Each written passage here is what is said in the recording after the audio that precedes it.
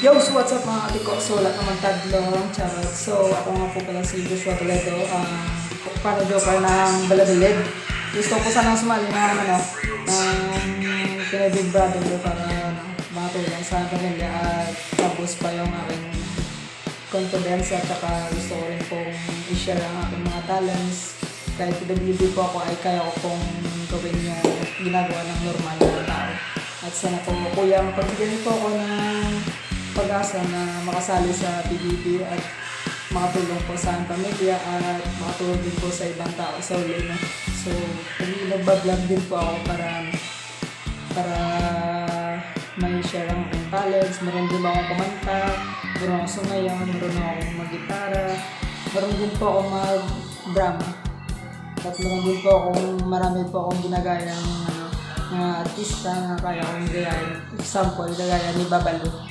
Ito po. Ha? Ano? Ayusin mo, ha? Kung kasik baba ko sa'yo, ayusin mo, ha? So, yun po, kuya, sana po ma-notice niyo po ako at sana po makasali. Kasi kaya niyo po akong bigyan ng pag-asa at chance na makasali sa Pina Big Brother. So, thank you so much po, kuya. Bye-bye. God bless.